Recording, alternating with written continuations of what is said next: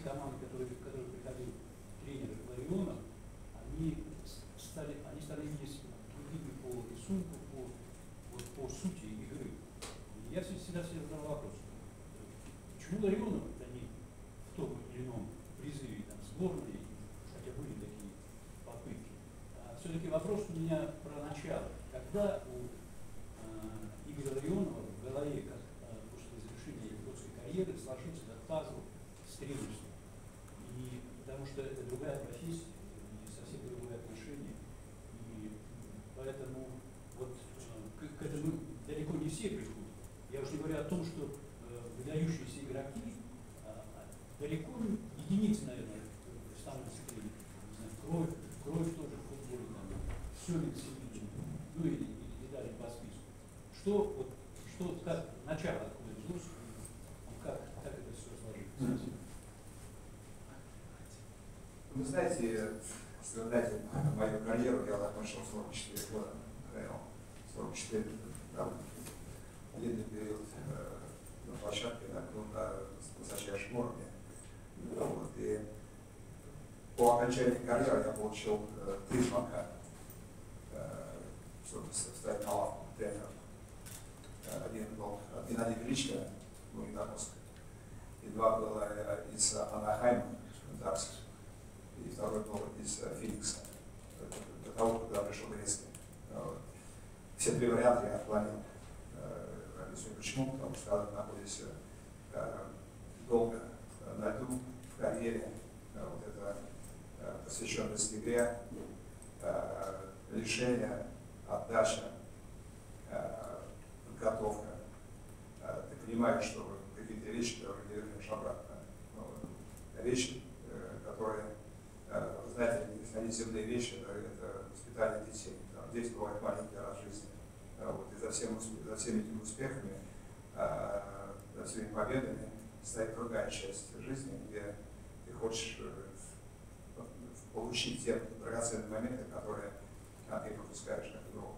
В 34, там, 32, а, у тебя еще есть время 44, когда, когда уже а, старшим дочерям а, 17 лет, младший 13, сыну а, 6, вот, и ты хочешь все-таки вернуться туда, где... Хотя в Северной Америке у тебя есть там, 4 месяца отпуска, вот, но начиная сезон, когда 82 игры разплывется, да, ты понимаешь, что э, все заточено на то, чтобы подготовиться к матчу, сыграть э, хорошие игру, быть примером для молодежи, потому что ты выходишь на играть против э, ребят, которые два раза моложе. Вот, а это требует э, сумасшедшей отдачи и, и, э, и посвящения э, профессии. Вот, поэтому э, я специально ушел э, в, в сторону э, от игры, э, вот, посвятил себя другим, э, более гибким планом, где я мог спокойно э, путешествовать, дома, то есть свой график, который... Э, вот. Но в то время держал руку на пульсе, смотрел игры, меня приглашал в Детройт э, посмотреть игру со стороны, чтобы э, тренерам рассказать, э, что я вижу, что в команде происходит э, с тех пор, как мы играли, когда была русская пятерка. Вот. Так что я был уверен, я так э, пытался все-таки больше быть дома, в семье, смотреть развитие детей, там, сына, начал играть в хоккей. Вот. Поэтому дальше э, получил приглашение от Первого канала работать э, комментатором на Олимпиаде э, Пьянчане в Корее. Вот. Э, стал интересоваться больше нашим комментировать игры, э, делать какие-то выводы, э, вот, э, видя тот, тот стиль игры, который не характерен для нашего хоккея, для нашего менталитета, для той игры, которая требует креатива, непредсказуемости, энтузиазма. Вот. Находил слова, чтобы так эти углы избежать, потому что никто не хочет слышать в телевидении, как раньше мы играли, потому что это кто знает, кто видел, тот знает.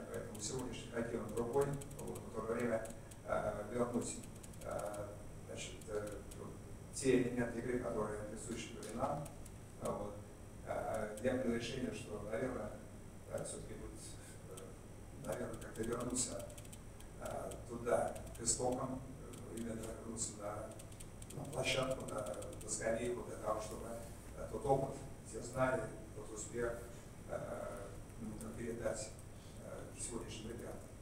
Поэтому взяло время, на самом деле, взяло время, хотя, в принципе, все эти годы, когда, когда я закончил, э, я был на этом с, мальчишками, в летнее время тренировал, показывал, это было строится. Более того, я поработал э, с отборной линии женской команды перед Олимпиадой в Корее. Мы пригласили э, на три дня э, поделиться опытом, как обыграть канадцев. Канада. Вот, это был интересный опыт. Э, мне он очень понравился, потому что, э, естественно, когда обучают них базом, сборной, сборной США, молодежной команды, юношеской команды, женской сборной, полчаса поехал в Детройте, поэтому им было интересно, как русская пятерка, как пятерка Ларионова, Тиса, Свободных флотов, Ларионов, Макаров и так далее. В свое время они делали все нарезки, видео и так далее. В чем секрет, как, как у вас это получалось? Да? Меня, так скажем, сначала рассказать, потом эти с ними налет. Вот, и когда они выиграли золото э, в Корее, вот, я пришел их поздравить, потому что их развивал. Было приятно сказать, что это часть э, того вложения, которое вы нам помогли. Поэтому, э, находясь, находясь в игре, вы меня афишировали, в принципе, я не терял значит, того видения, того развития, той динамики развития хоккея. Вот, параллельно, параллельно посещал и европейские клубы, смотрел, что происходит нового в футболе, потому что две, игры пересекаются. Вот, и, ну, обогащал себя теми знаниями, которые мне, может быть, не хватало, которые я знал, но спонтанно я их не видел конкретно, приезжать, допустим, в тот же Ливерпуль, в тот же Сити, Манчестер, или в Арсенал, или Саутгемптон, Юнайтед, ты учился тому каким-то вещам, которые ты брал с собой в игру хоккей, потому что игры, они, когда играют с правильными людьми, с правильным мастерством, с правильным талантом, с правильным мозговым центром, да, смотреть, я не оторвался. Поэтому эти все вещи, которые держались внутри, копились, личный опыт именно побед, ну, скажем, подтолкнул меня туда, где на самом деле очень серьезный вызов, много стресса, вот, но ты понимаешь, что это интересно, потому что если ты даешь часть себя, ты видишь тот, тот успех, который дают ребята, ну, которые вырастают в мастеров, вот, и в этом плане это самая большая награда того, что ты даешь больше, чем ты берешь. Спасибо большое. Можно добавить? Да, конечно. Вы знаете, это большая удача нашего спорта, что э, такой выдающийся игрок работает тренером. И вот вы сказали, что не все бывают выдающиеся игроки хорошими тренерами, но бывают и очень выдающиеся, потому что они видят нюансы, они видят нюансы игры, они видят свое направление. Сегодня мы, например, видим торпеду, но оно играет немножко другой хоккей, чем многие другие. Правильно? Есть своя какая-то изюминка. Вот он видит вот эти небольшие нюансы. Поэтому э, я считаю, что большие игроки очень сейчас мало приходят э, в тренерскую профессию. Они сразу уходят куда-то, там закончили бизнес и так далее. А если у нас это будет значительно чаще, футбол, хоккей, он станет э, на голову выше, потому что они видят все нюансы, они вспоминают, что было, они видят новое, э, то, что происходит. Это очень важно. Николаевич молодец просто, что он в своей профессии остался.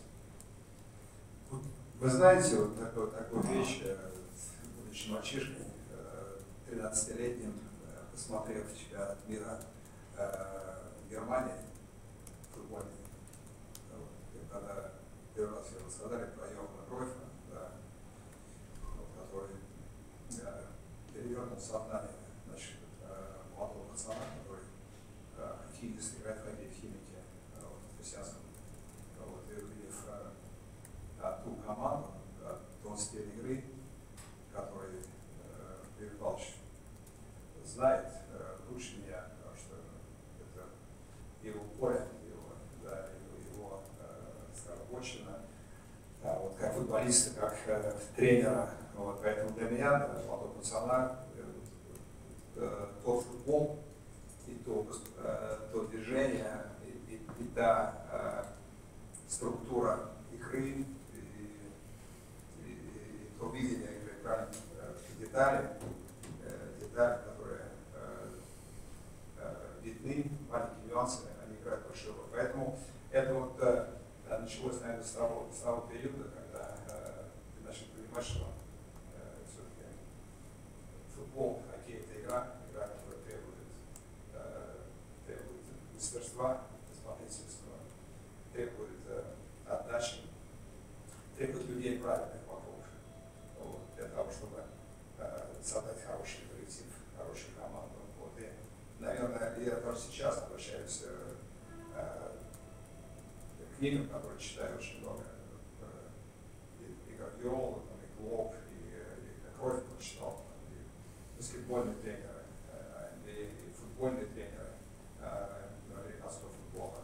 Ну, и э, очень, очень много интересного и практически многие вещи идут от того э, голландского стиля, который э, был поставлен тогда. Поэтому э, пытаюсь это привести в игру, потому что, потому что игра для болельщиков, игра для людей, вот, игра для тех мальчишек, для тех родителей, которые будут смотреть игру, для того, чтобы э, получать удовольствие, для того, чтобы приводить детей, э, э, семьи на, на эти матчи, на эти игры. Вот, поэтому э, это вдохновение, которое я получил э, с тех пор, связано с кровью, оно, конечно, э, всегда со мной. Поэтому, как бы там трудно не было, Юрий Павлович, да, много поработал в этой профессии, я сказал, что эти вещи происходят э, спады, подъемы, вот, главное э, держать э, линию, держать, э, держать удар. Вот, и, то есть паника никак э, не поможет. Вот, и так же, как в игре, когда я будучи игроком выигрываю седьмой матч э, серии, там, э, плей-оффа, э, счет 2-1 или 3-2, не должен прибегать, ты должен держать удар, должен делать правильное решение, не холодной головой, поэтому также в коллективе. То есть это эти вещи, которые э, ты передаешь. Вот. Поэтому это часть часть тренерского обучения, оно, оно не стоит на месте, двигайся вперед, двигайся новым идеям, э, видишь в ребятах э, те грани, которые у них пока еще не раскрыты, а вот именно те нюансы, которые ты хочешь, э, чтобы из них они вышли. А Вот, и когда это получается, то это, это просто фантастично. Спасибо большое за ответ.